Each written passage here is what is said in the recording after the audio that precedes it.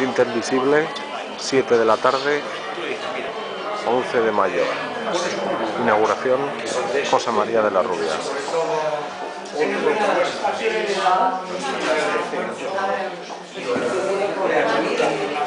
Siempre, siempre. Ah, no sé.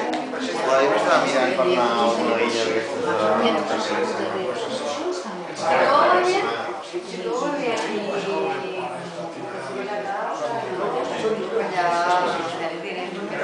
casa del soñador y. Un colchón de la